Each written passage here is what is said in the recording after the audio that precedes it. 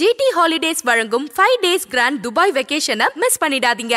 விகடன் நேயர்களுக்கு வணக்கம். நம்ம இப்போ எங்கே இருக்கோம் அப்படின்னு பார்த்தீங்கன்னா ஆரேபுரத்தில் தான் இருக்கோம்.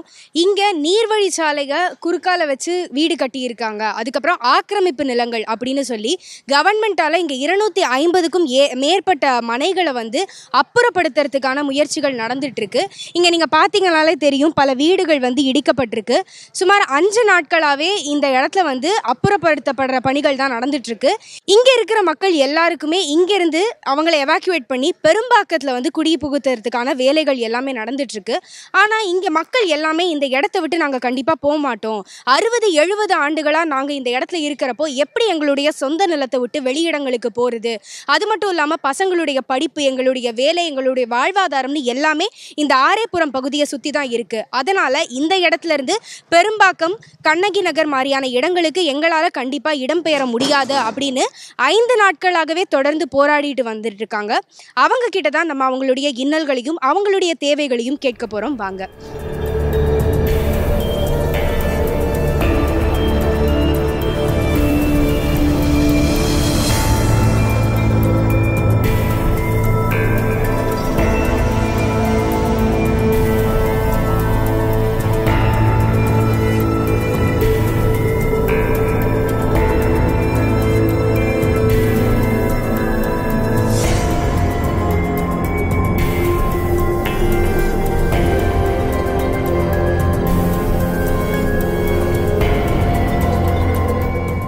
நாங்கள் வந்து இங்கே சுதந்திரம் வாங்கறதுக்கு முன்னாடி எங்கள் அப்பா வந்து இங்கே ஆயிரத்தி தொள்ளாயிரத்தி முப்பத்தாறில் வீடு கட்டினார்.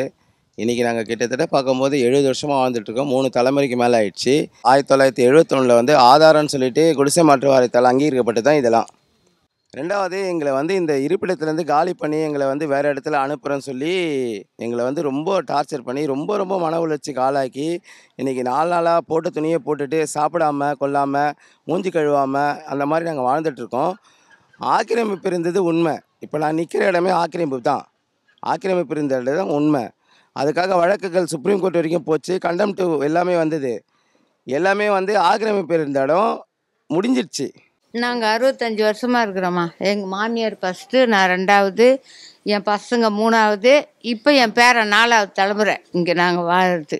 இப்போ நாங்கள் எங்கே போகிறதுமா போக சொல்கிறாங்க நாலு வயசாகிடுச்சு நான் எங்கே போவோம்?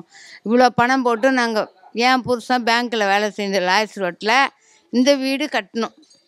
இப்போ இந்த வீடை எடுத்துட்டால் எங்களுக்கு வேறு வழியே இல்லை. நாங்கள் எங்கேயும் போக முடியாது. பொழப்பும் இல்லை படிப்பும் இல்லை சம்பாதியம் இல்லை. ஏன்னா நானே கால் ஒடிஞ்சு போய் இருக்கிறேன். எனக்கு யார் சோறு போடுவாங்க? என்னை யார் பார்த்துக்குவாங்க அவங்கவுங்க குடும்பம் அவங்கவுங்க பார்த்துக்குறாங்க எனக்கு யார் வாங்குறாங்க?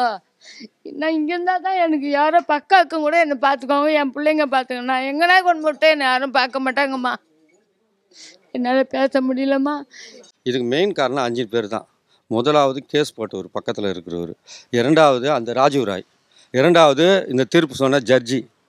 மூணாவது இதுக்கு சைன் பண்ண மு க ஸ்டாலின் முதலமைச்சர் தமிழ்நாடு முதலமைச்சர். நாலாவது கலெக்டர் அஞ்சாவது டிஆர்ஓ இவங்க நாலு பேருமே அஞ்சு பேருமே உருப்பட மாட்டாங்க. இந்த ஆட்சி அஞ்சு வருஷம் செய்யவே முடியாது. நான் வேணா எழுதி வேணா கொடு இந்த ஆட்சி மு க ஸ்டாலின் அஞ்சு வருஷம் நிறைவேற்றவே முடியாது. இந்த ஆக்கிரமிப்பு இருந்த இடத்த அகற்றதுக்கு பிறக்கும் நாங்கள் இத்தனை கால ஆண்டுகள் வாழ்ந்துட்டுருக்கோம் எங்களை வந்து இந்த எழுபது ஆண்டு காலமாக இந்த இடத்துலேருந்து காலி பண்ணுறதுக்கு ஒரு தனிநபர் போட்ட வழக்குன்னு சொல்லி இன்றைக்கி வந்து அந்த தனிநபரை கேட்கும்போது இரண்டு வருஷத்துக்கு முன்னாடி அந்த நான் வழக்குலேருந்து விடுபட்டுட்டேன். எனக்கு அந்த வழக்குக்கும் சம்மந்தம் இல்லை. இனிமேல் வந்து டெல்லியிலேயே வந்து டிசல் ஆகிடுச்சு இது. தமிழக அரசு தான் இனிமேல் இதுக்கு முடிவு பண்ணோம் இன்றைக்கி நடக்கிறது எல்லாமே தமிழக அரசு தான். எங்க ஏன் துரத்தி விரட்டி அடிக்கிறீங்க? ஒரு கால்வாய் இது கால்வாய் எங்கேயோ இருக்குது எங்கள் வீடு எங்கேயோ இருக்குது ஒரு சுவர் எழுப்பி தந்தால் நாங்கள் எப்பயும் போல தான் நாங்கள் இருந்திருப்போம். எங்கள் தாத்தா பாட்டி வாழ்ந்து எங்கள் அம்மா அப்பா வாழ்ந்து இப்போ நாங்கள் அந்த வீட்டில் வாழ்கிறோம் நாளைக்கு என் பிள்ளை கேட்டால் என்ன சொல்வேன்? இங்கே தான் உங்கள் தாத்தா பாட்டி வாழ்ந்தாங்க. நான் நீங்களும் இங்கே தான் பிறந்தீங்கன்னு சொல்வேன். எங்களையே எங்கள் எடுத்துன்னு போய் எங்கேயோ விடுறீங்க சுதந்திரமாக நாங்கள் எங்கள் வீடு இடத்துல இருக்கிறோம். பக்கத்தில் ஆணி அடிக்காத மேலே குதிக்காத எதுக்கு ஒரே ஃப்ளாட்டில் எடுத்துமே எங்களை அடிக்கிறீங்க? எங்களுக்கு எங்கே எங்களுக்கு எங்கே நாங்கள் வாழை பிடிக்குதோ எங்களை அங்கே விடுங்க. எடுத்துமே எங்கேயோ போட்டிங்கன்னா ஸ்கூல் படிப்பு என்ன ஆகுறது மேடம் இப்போ நீங்கள் லீவ் டைமில் வந்து இப்போ எடுக்கிறீங்கன்னா அடுத்த வருஷம் ஸ்கூலில் எங்கே போடுறது? இப்போ வந்து எனக்கு எக்ஸாம் நடக்கிறதுனால நான் வந்து அங்கே இப்போ எனக்கு நிறையா சொல்லி கொடுக்குறாங்க. இங்கே ப்ராப்ளம்னால நாங்கள் போகவே முடியலை. அதனால் மிஸ் வந்து நீங்கள் கண்டிப்பாக வரணும் அப்படின்னு சொல்கிறாங்க ஆனால் ரெண்டு சைட்லேயும் பிளாக் பண்ணியிருக்காங்க அதனால் என்னால் சுத்தமாக போக முடியல.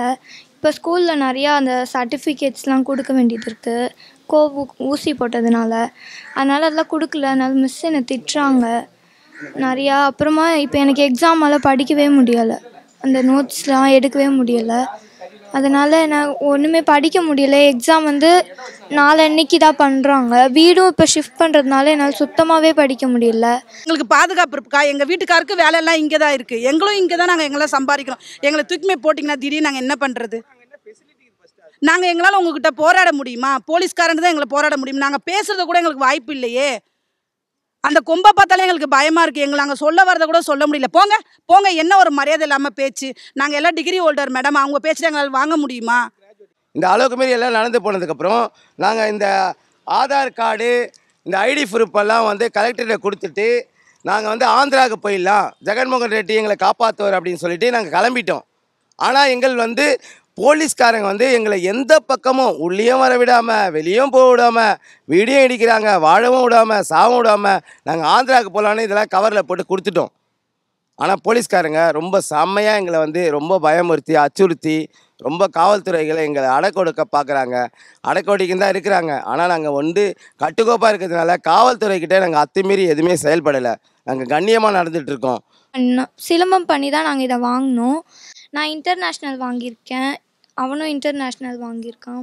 இங்கே வந்து இடம் இருக்குது அதனால் நாங்கள் சிலம்பம் பண்ணோம்.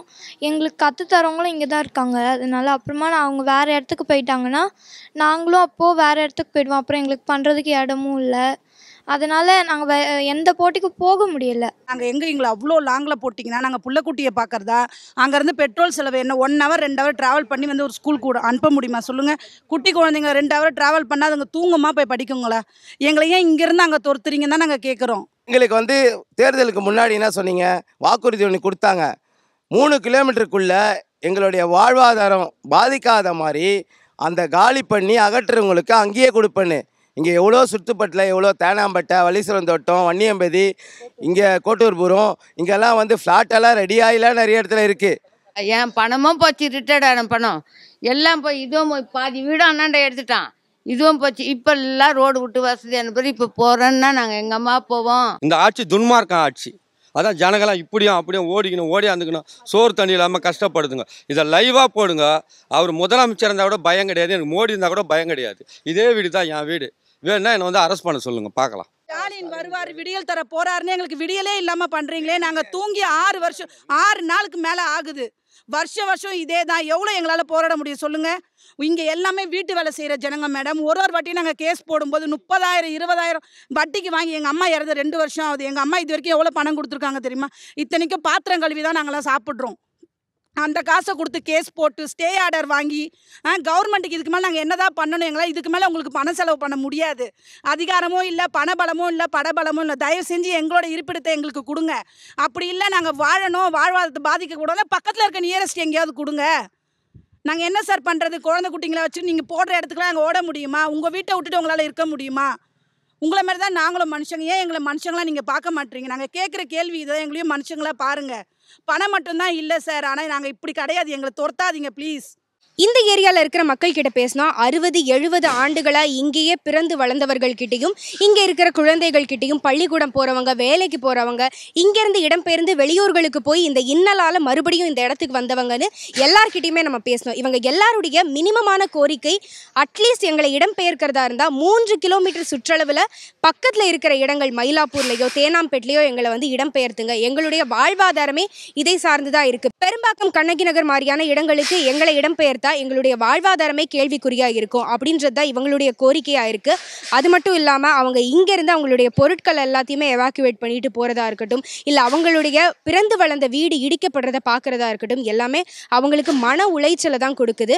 அது மட்டும் இல்லாமல் இந்த ஐந்து நாட்களாக அவங்க ஆர்ப்பாட்டம் பண்ணிட்டு வந்ததுனால அந்த நேரத்தில் காவல்துறையினர் வந்து அவங்கள தாக்கியதாகவும் இங்கே நிறைய பேர் வந்து புகார் சொன்னாங்க.